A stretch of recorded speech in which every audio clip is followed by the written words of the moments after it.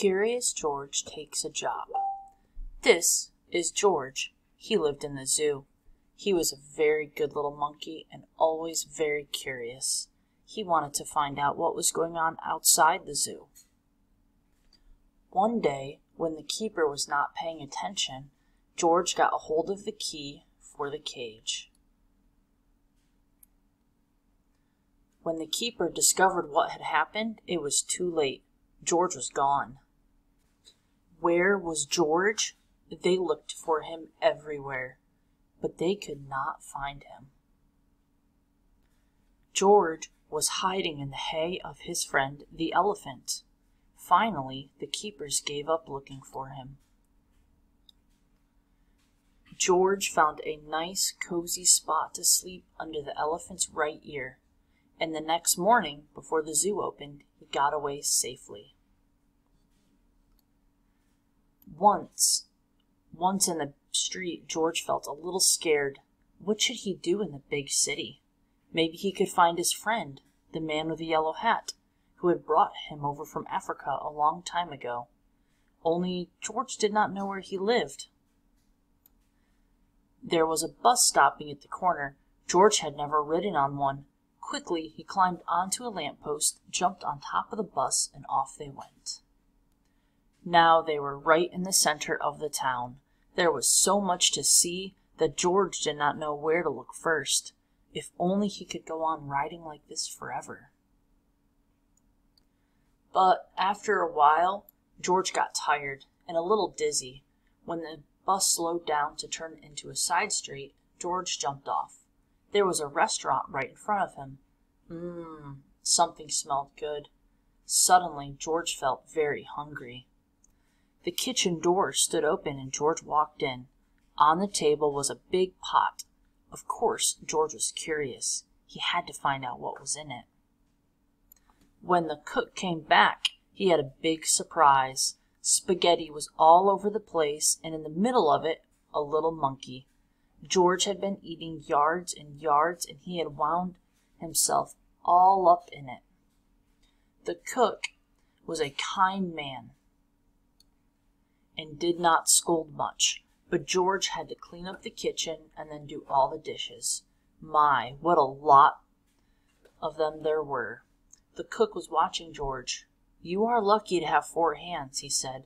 You can do things twice as quickly. I have a friend who could use a handy little fellow like you to wash windows. If you would like to, I will take you over to him. So they went into the subway and took an uptown train to the cook's friend, who was an elevator man in a skyscraper. Sure, I can use you. The elevator man said to George, I will give you what you need for the job. You can start right away. But remember, you are here for washing windows. Never mind what people inside the houses are doing. Don't be curious or you'll get into trouble. George promised to be good, but little monkeys sometimes forget. George was ready to start. My, how many windows there were! But George got ahead quickly, since he worked with all four hands. He jumped from window to window, just as he had once jumped from tree to tree in the African jungle. For a while, George stuck to his work and did not pay any attention to the people inside. Of course, he was curious, but he remembered his promise. In one room, a little boy was crying because he did not want to eat his spinach. George did not even look, but went right on with his work. In another room, a man was taking a nap and snoring. George was sorry it was not his friend, the man with the yellow hat.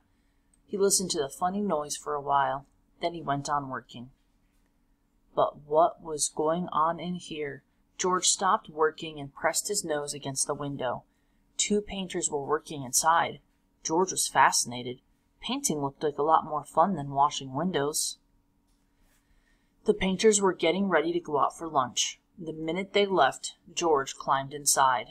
What wonderful paints and brushes they had! George could not resist.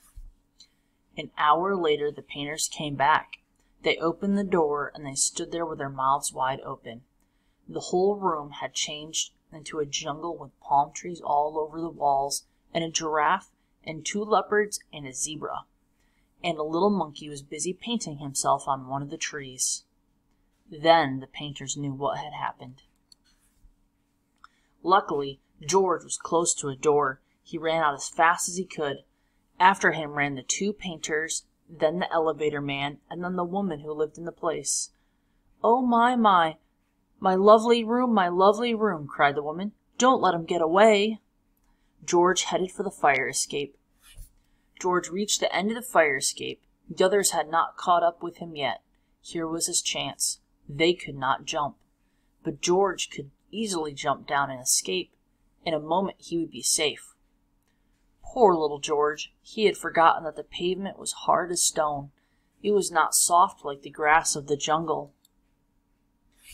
Too bad. The fall broke his leg, and an ambulance came to take George to the hospital. He got what he deserved, said the woman, making my apartment into a jungle indeed. I told him he would get into trouble, the elevator man added. He was too curious. George had to lie in bed with his leg high up in pla- a plaster cast. He was very unhappy. And it had started out so nicely. If only he had not been so curious, he could have had a lot of fun. Now it was too late. But next morning, George's friend, the man with the big yellow hat, was buying his newspaper. Suddenly, he got very excited. This is George, he shouted when he saw the picture on the front page. Quickly, he read the whole story and then ran to a telephone booth to ring the hospital. I am George's friend, he said to the nurse who answered the telephone. Please take good care of him so that way he will get better quickly. I want to take him to the movie studio and make a picture about his life in the jungle. Don't let him get into any more mischief until I can take him away. Finally, the day came when George could walk again. Your friend is going to take you away this morning, said the nurse. Just wait, wait, wait right here and don't touch anything. As soon as George was alone, he looked all around at the strange hospital things. I wonder what's in that big blue bottle, he thought. George was very curious. It smelt funny. Suddenly his head began to turn. Then he felt as if he were flying. Then rings and stars danced before his eyes. Then everything went dark. And this is how the man with the yellow hat had found George when he came to call for him. They picked him up and shook him, but they could not wake him up. He was so fast asleep that they finally had to put him under the shower. How surprised he was when he woke up.